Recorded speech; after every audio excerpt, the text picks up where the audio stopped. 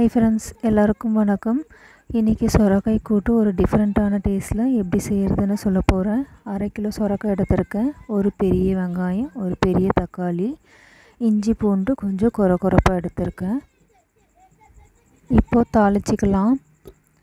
கடாயில் ஒரு ஐம்பது கிராம் எண்ணெய் ஊற்றிருக்கேன் அதில் ஒரு ஸ்பூன் கடுகு ஒரு ஸ்பூன் சோம்பு. இது கொஞ்சம் பொன்னிறமாக வந்ததுக்கப்புறம் வெங்காயத்தை ஆட் பண்ணிக்கலாம்.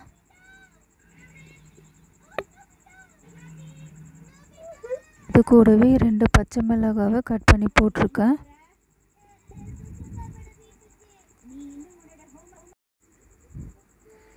பொன்னிறமாக வதங்கினதுக்கப்புறம் ஒரு ஸ்பூன் இஞ்சி பூண்டு பேஸ்ட் போட்டுக்கோங்க.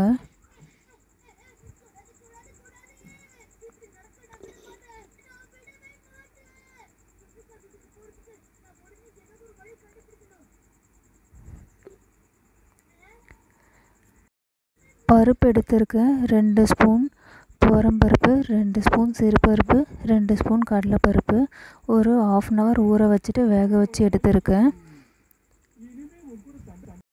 அது கூடவே ஒரு ஐம்பது கிராம் தயிர் எடுத்துக்கலாம்.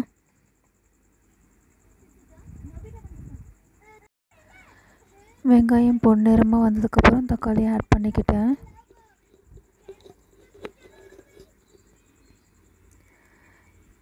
இப்போ சொரக்காவை நம்ம சேர்த்துக்கலாம்.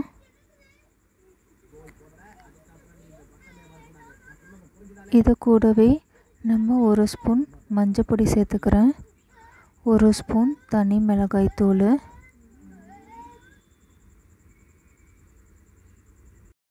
தேவையான அளவு உப்பையும் சேர்த்துக்கிறேன். எல்லாத்தையும் நல்லா மிக்ஸ் பண்ணிக்கலாம்.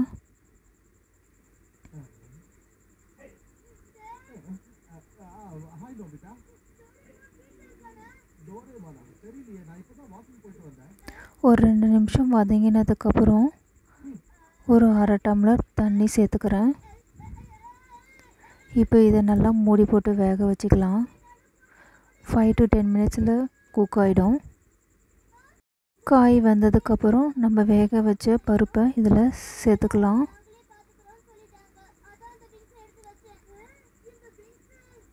நீங்கள் உப்பு காரம் பார்த்து எக்ஸ்ட்ரா கூட ஆட் பண்ணிக்கோங்க. சூப்பரான டேஸ்ட்டு கொடுக்கும்.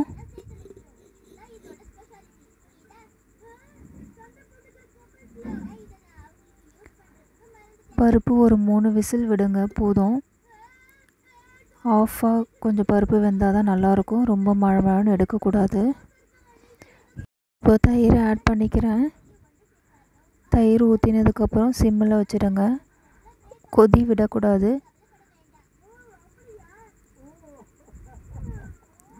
ஒரு கிளறு கிளறிட்டு கேஸ் ஆஃப் பண்ணிடணும். கொதி விட்டால் திரிஞ்சு ஒரு மாதிரி தண்ணி ஆகிடும் கருவேப்பிலை போட்டு இறக்கிடுறேன். சூப்பரான டேஸ்ட்டு. சொரக்காய் கூட்டு ரெடி ஆகிடுச்சி நீங்களும் சமைச்சு பாருங்கள் இதோட டேஸ்ட்டு எப்படி இருக்குதுன்னு சொல்லுங்கள்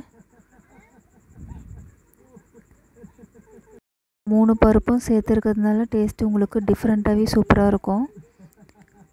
உங்களுக்கு இந்த வீடியோ பிடிச்சிருந்தாலும் லைக் பண்ணுங்கள் சப்ஸ்கிரைப் பண்ணுங்கள்